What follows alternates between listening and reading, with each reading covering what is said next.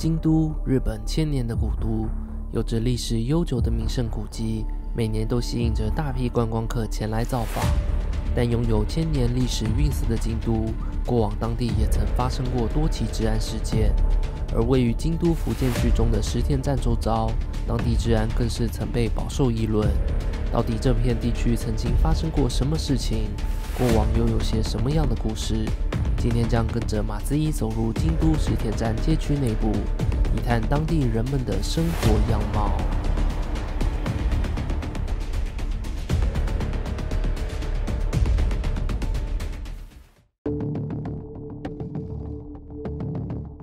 大家好，我是马子一。那马子一今天又来到生日本系列，今天探访的都市呢，就是京都市。京都在大家的印象当中，自古以来一直都是日本千年的古都。从以前到现在，它也是一个工商业还有旅游观光非常蓬勃发展的一个城市。但是根据日本网友的调查，住在京都是一回事，来京都旅游观光又是另外一回事。为什么会有这种说法呢？所以今天这部影片。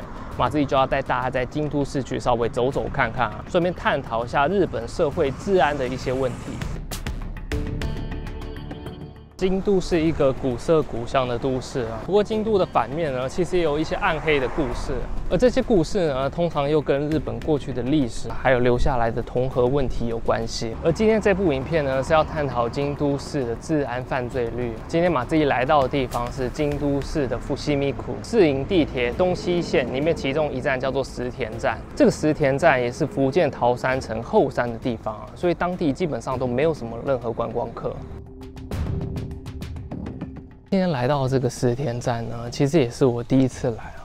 刚从这个地铁出来的时候呢，看一下周边的环境啊，都没有什么太多的店，反而呢有很多的大型住宅啊，比如说像日本的这些公营住宅，还有私营住宅跟团地啊，这一整片都是。我可以给大家看一下我现在周遭的外观啊。就是这边、这边、这边都是，有点像是那种宿舍的外观。为什么这里会这么多的这些住宅呢？等一下我会跟大家说明这边过去的一些历史。那石田这一站呢，其实如果大家到网络上搜寻啊，大家就讲京都石田治安啊，会出现很多的一些过去犯罪的，呃，可能新闻啊，或者是曾经有一些自杀的案件啊。所以这也是为什么啊，听说京都这个石田这块。周遭呢，它的租金相对的比较便宜一点。当然，这个只是网络的说法。如果有人有实际住在这里的话，也可以分享一下这边居住的感觉是怎么样，还有当地的治安到底又是如何。当然，马志英没有说这个地方是治安非常差，治安非常不好。我只是根据日本这个网络的调查，还有京都府警他提供出来的资料。然后会诊跟大家稍微做一个分享而已。那这些资料呢，根据不同的机构出来啊，当然出来的结果也不太一样。所以今天把自己这些影片呢，就是大家做个参考就可以了。如果有人要来京都住，或者是哎想在京都买房子什么什么，就是可以做一个简单的参考，大概看一下。哎，这个地方附近到底是怎么样的感觉？其实它这里就像一个小社区的感觉，虽然建筑物非常的密集啊，然后每一户都是这样子相连着，不过它这里那种花花草草、绿化还蛮多的。中间还有一个小小的道路啊，但是它两旁呢都是一些草，右边那边有一条河，我看当地人。蛮多在这条道路上行走，但其实像团地这个附近人并不会很少啊，因为这里住很多的人，所以周遭啊其实在一些巷弄间走来走去的时候呢，都可以看到一些当地的住户。下面这边清澈的河水啊，这条就是三颗川啊。上一集我到京都的六地藏的时候呢，也有拍这个三颗川给大家看。我们下去稍微看一下这个河水，真的很清澈。那这就是三颗川的河水。哇，好冰好凉啊，真的相当的清澈。我看也有人在那边钓鱼，这里还有这些这种石头，可以通到对面去。旁边这里还有一个石头，感觉是可以站在这边观景。这里真的蛮宁静、蛮漂亮的，它就可以站在一个石头，好像在。河川的这个中间，这种感觉，听着这种清澈的流水声，吹着这个微微的凉风，还蛮惬意的。在日本，犯罪通常分为五种。第一种就是凶恶犯，譬如说像是强盗、杀人、放火、强制性交；再来就是粗暴犯啊，像是暴力啊、伤害；然后窃盗犯、偷东西；知能犯，譬如说像是诈欺啊、盗领、伪造等等；最后一个就是风俗犯，像是赌博啊，或者是猥亵等等的一些社会犯罪。根据京都府警所提供出来的资料来看，京都市它一年的犯罪案件啊，大约是八千多件，快九千。相比其他的四村町呢，平均一年大概只有。四千件左右，所以是足足多了一倍。而由京都府警排行犯罪率调查，由低到高呢，分别是京都的北区、上京区、宇治区、三科区、南区、左京区、右京区、中京区、下京区。他们把这一今天来到的福建区，就我实际上网去查，看看日本人他们自己的观感还有想法是怎么样啊？就是说，很多的日本网友呢，他们就认为说。京都市里面的犯罪率哦，其实有一半呢都是来自伏西米库。而马自刚来的那个石田车站周遭的附近，其实过去也有曾经发生一些杀人啊，或者是一些自杀的案件啊。特别是网友有说到，就是在夜晚的时候，靠近这里的向导地区还有醍醐地区啊，晚上有些人曾经有遇过一些跟踪狂啊，或者一些暴力团。过去也有曾经发生当地有中小学的学生呢，被警察发现身上有带大麻。所以呢，这个地区那种低年龄层的犯罪啊，比其他地方还要来得高一点。其实不管是要租房啊，或者是搬家买房啊，我觉得在一个地方特别做功课，这是一定要的事情。先不说治安还是怎么样啊，就是日本人他们自己在租房换地区的时候，因为日本很大嘛，你不可能只住在关东啊，你也不可能只住在北海道，只住在关西啊。有时候因为工作的关系呢，会到处的迁移，所以到了一个新的地方啊，就连他们虽然是已经。在日本土生土长，对于当地的一些地理风情啊，还有一些过去的一些自然或者一些故事，他们也是会非常在意，去谨慎的去选择这个地点。在日本的网络上，你只要打住某某地区治安，然后私密啊、私杀，就是这个地方住的那种感觉好不好，其实会出现非常多的一些资料。所以呢，我觉得选择地点呢，宁愿多花一点心思啊，或者是去请教一些比较懂的人。如果当然你不在意的话呢，是没有关系啊。不过日本人普遍他们。都是蛮在意的。先不说治安哦，特别是一个地区这个过去是怎么样的一个感觉，还有当地住的这个外国人或者和本国人的比例是多少，他们也会去 care。比如说他们会很明显知道说，哦，哪一站就是韩国人住的地方，哪一站就是比如说中国人、亚洲人、华人比较多一点的地方，或是哪一站就是东南亚人比较多一点的地方，这个他们都非常清楚。所以网络上也有很多资料，如果大家有兴趣的话，可以。上网自己稍微查询一下。这后面也不知道是不是一个学校，感觉外观看起来像一个学校。刚看那个是一个学校，池田小学校。我走到这边，差不多已经走到快靠近醍醐，这里附近就有几间餐厅了，还有一些小小的咖啡屋。这附近是不是钓鱼还不错啊？我刚看好多人拿着那个钓鱼的器具。然后也不知道去哪里钓啊。对面那边有一间很大间的藏寿司，哇，大家都开车来。这里的地感觉蛮大的啊，不管任何一间店啊，它的那个占地面积都非常的广啊。像刚那个库拉兹奇也是，然后后面那个 Seven Eleven，它也是非常大的一间这样。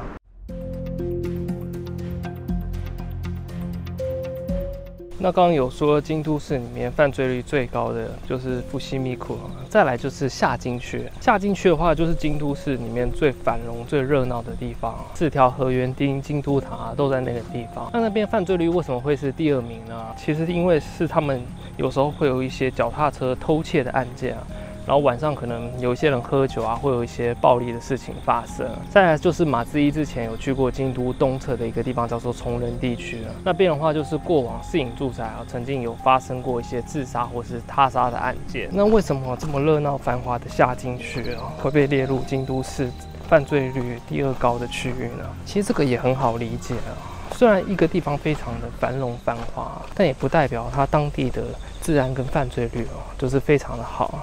我们就不说京都，我们来说大阪好。大阪市里面啊，治安最差的一个地区，不知道大家第一印象会怎么样的感觉？跟大家说，不是西城啊，其实大阪市治安最不好的一个地方就是中央区。而中央区这个地方是有什么样的一些东西呢？新斋桥、道顿窟、难波、黑门市场都在这个地方。中央区也是嘛，自己现在住的 这个地方，所以我可以很直接。主观感觉跟大家评论一下，为什么这么闹剧的地方犯罪率会高？重点很大的原因就是他们当地啊夜晚有很多喝酒的场所，还有一些牛郎店啊，或者是一些比较年轻人啊，在晚上就像歌舞伎町那种感觉。所以这个地方晚上打架闹事一定会发生。大家喝酒嘛，有时候血气方刚、意见不合的时候，就可能就会互相这样起口角啊、KTV 啊这种。常常会发生，所以这样子累积下来，其实犯罪率呢会稍微的比较高一点。热闹繁华的地方啊，不一定它的犯罪率就相对低，反而还可能比别的地方还要来得高。像道顿窟旁边那个所谓梦酒啊，晚上全部一条都是喝酒的地方啊，风俗街啊，相对那个地方也会有一些黑道在把持啊。有时候就会发生一些犯罪的事情，所以在一个热闹繁华、人流多的地方，它的犯罪率会相对的比较高，这个是可以理解的。但是如果在一个非常宁静，然后都没有什么人的地方，它的犯罪率还高的话，这可能就要稍微注意一下。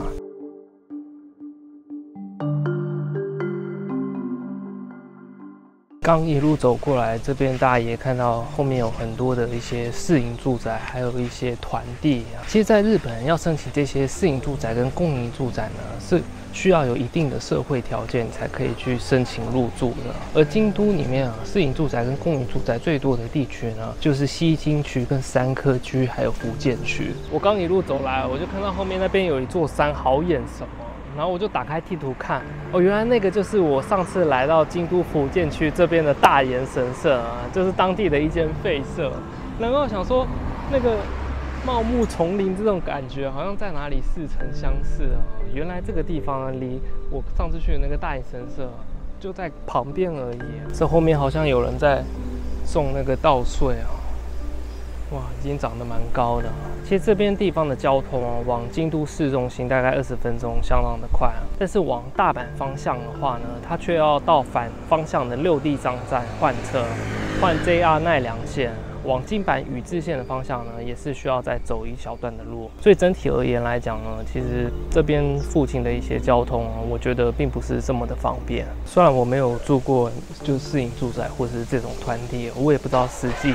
在这边住下来那种感觉是怎么样？还有跟邻居之间的那些互动交流是怎么样？不过我觉得某种程度上也不像台湾现在最新的那种社会住宅，就是你的这些街朋好友啊，还有一些邻居啊，其实常常都会在这个四周遭见到面。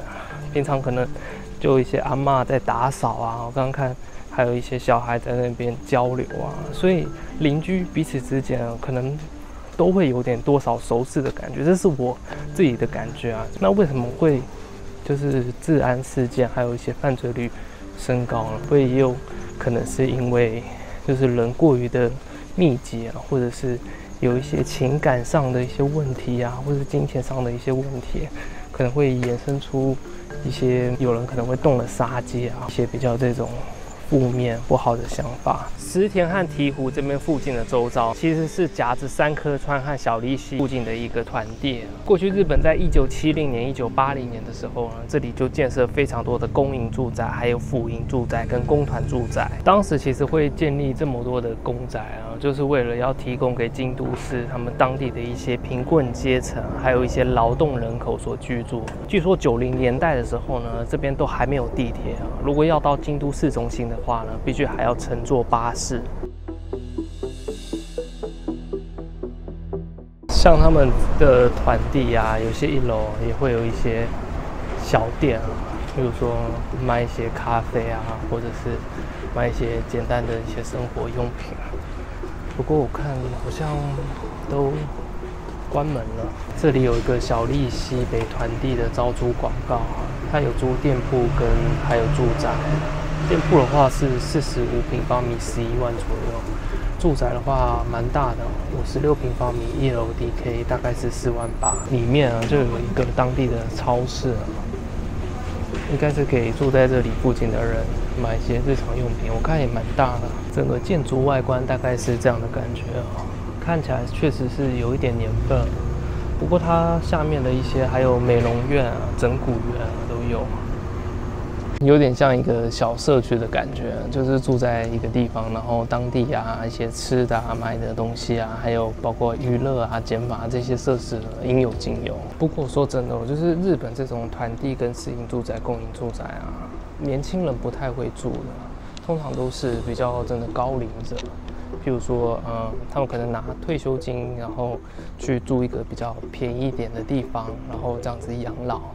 或者是子女啊，就离开了他自己的身边，然后自己可能就在一个地方这样子生活，所以他们的要求可能不需要租金这么高啊，就是能住的一个地方，然后附近周遭大概机能可以好一点的地方的话就 OK 了。我现在来到他们团地里面一个建筑物旁边有贴一个布告栏，我来看一下他们都贴一些什么东西。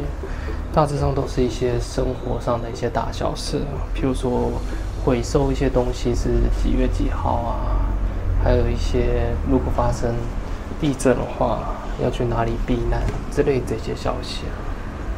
旁边这里还有一个类似一个表，每个房间好像可以清扫的样子，这个是谁来填呢？这不清楚。其实有点像是公寓啊，但是呢，构造又不完全是啊。如果有机会的话，可以给大家看一下他们这种单级，他们走廊是怎么样。马自一现在到这个地方呢，叫做小利西西团地啊。这里是过去一九七零年代的时候呢，当时建造起大型的古老团地。根据网络上的资讯来说，这里二零一三年到二零一六年间呢，有发生几起社会事件不过这里也是京都市屈指可数宜华日侨的居住地这个就是跟日本过去和中国的历史有一点关系。它就是像这样子很大的一块地区，然后有非常多的住宅。平均一栋住宅大约是五六层楼左右高。我刚好稍微观察一下他们这边住宅的形式，还有他们的外貌，就是有很多的住家，它外面都会放那种很大的那种天线。那这种天线其实最主要是它要接收到海外的一些电视的讯号。另外就是他们的这种房型啊，门就是在走廊旁边嘛，有点像是大家有没有看过？日剧啊，它那个门旁边就有一个窗户，然后那个窗户呢是直接可以看到你房间里面的样子，所以等于说你在房间里面，如果你即便把门关起来好了，窗帘拉起来好了，晚上还是有可能有人走动的话，你在窗户那边是可以看到一个人影这样子过去的。他们每一栋上面都会有一个号码，比如说这是写二十八。然后那边是二十九、三十、三十一。日本在一九七八年的时候，当时跟中国签订了一个日中和平友好条约啊，而当时的移华日侨归国的计划呢，也正式的启动了。直到九零年代，当时还有一些战后孤儿，他们回到日本的时候呢，他们就被优先安排住进这个小利息公宅啊。所以这也是为什么马自一刚刚说这边的过去一些历史呢，跟移华日侨很有关系。还有刚一路走过来，其实也有看到很多中国的一些餐馆。移华日侨又称作日本遗孤或移华日本人，主要是指1945年日本投降，中国集体遣返日本侨俘后遗留在中国大陆的日本侨民。他们主要是一945年日本关东军在撤退和遣返期间，日本国民和日裔满蒙开拓的移民。据统计，中国民众在战后收养的日本遗孤有四千余人。他们大部分生活在中国的东北和内蒙古地区，而这些人多已融入当地的生活和家庭。一九七二年，日本和中华人民共和国建交后，包括日本遗孤在内的遗留者大部分返回日本生活，并取得日本国籍。其实小利溪这个地方呢，也是日本过往战国时代啊明治光秀他逝去的一个地方，而这边也是临近的大岩山嘛。其实这个大岩山啊，它里面也掺杂了非常多的一些工业用的废弃物，所以如果这里长久以来那些废弃物都没有清除的话，经过这种大雨，很有可能会发生像之前热海伊豆山大规模的土石流危险。看新闻说，京都市政府好像也有跟那边。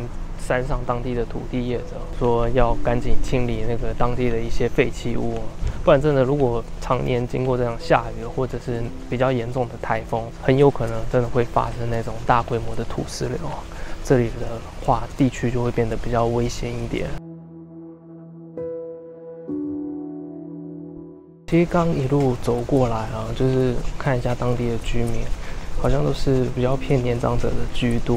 因为听说小利溪这里呢有三间小学校跟一间中学校，但是因为近年来少子高龄化的关系，所以好像在未来几年呢，这个小学校跟中学校他们就要合并了。现在来到当地另外一个适应住宅啊，这个叫做大寿适应住宅。这个大寿适营住宅哦，跟我们刚刚去的小利溪团地呢，其实都是历史相当的悠久。他们都是大概在一九七二年的时候所建立出来的大型住宅区。稍微进去里面看一下，这个住宅的样貌是怎么样的感觉？哇，真的蛮大的，这样子一片，然后到那边底。都还是这边往前通过去呢，还有大概三排左右，每一排就是大概这样子，非常多的这种住宅地区。这个大寿住宅啊，全部的户数呢，总共有一千一百户，所以真的相当多人。大家想，一户呢大概住三到四个人，这里住宅区呢大概就有四五千人左右了。当然，刚有说这里的这个住宅是一九七二年的时候盖的嘛，所以至今换算也差不多有五十年左右的时间。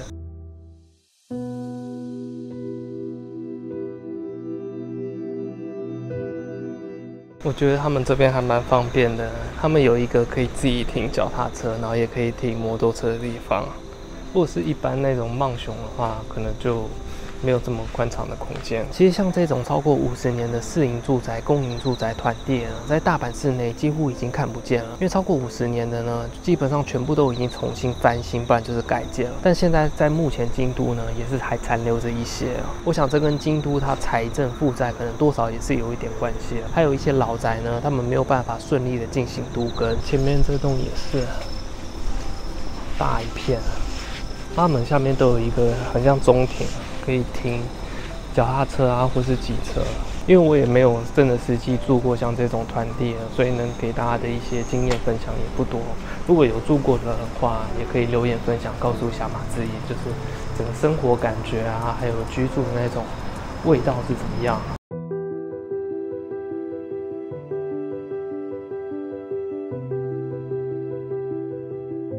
哇，它这栋真的看起来好高啊！虽然它的外观有点老旧哦，不过实际我刚刚看里面还是有电梯的。像这种建筑样式呢，现在盖房子可能也不会采用了，等于算是一个过往时代的眼泪。到整个房屋都老朽的话呢，还是会面临拆迁啊，或者是重新打造的一个局面。最后马自己觉得哦，就是一个地方的自然好与不好，真的还是要实际住过那个地方。或者是去当地走走看看，你才会真的了解。因为每个人对于当地的自然的那种认知真的也不太一样。有些人可能觉得晚上会有一些嘈杂声啊，这样就是自然不好。那有些人是想说这个街上很容易发生一些斗殴啊，或者是一些暴力事件，或者是一些强盗事件啊，这个就是自然不好。所以真的每个人对于自然好与不好的那个定义都是不一样的。虽然是福建区是京都市里面。犯罪率最高的地方啊，但是福建区也很大，所以在某一个区域里面的各个地方也是不同的感觉。那马自毅今天实际来到石田这一站走访一天，这样下来的感觉啊，我觉得这里好像也没有特别感觉是一个非常危险或是治安不好的地方，就路上的人流是蛮多的，因为他们住宅地非常的密集嘛，所以大家都会。出来稍微走路啊、散步啊，或者是骑车啊、钓鱼之类的感觉。不过这附近确实机能比较不好一点啊，电也比较少一点啊。但过去为什么会发生这么多的一些社会的案件呢？这个我真的也不清楚，因为我看到的资料就是这样子。还有一些人过去曾经在这边居住的关系啊，我在想，也有可能是这边团地太多的关系，就人太多了，然后平常又这样子密集的交流啊，有时候就会发生一些事情。这样，那最后，如果你过去也是曾经居住在日本，不管是哪一个地区，你有什么特别的经历，或是有看过居住的地方附近曾经有什么样的一些社会案件呢？也欢迎你留言分享，告诉马志毅啊，因为马志毅觉得还是一个地方真的要居住。网络的资料可以当做一个参考，不过实际上当当地的自然到底是怎么样，还有居住起来的环境，对你自己本身的感觉是怎么样？我觉得还是要多听一些可能在当地有居住过的人，或是一些其他的风评啊，综合起来，你实际再到当地走一遍呢，你比较会知道那种感觉到底是不是你想。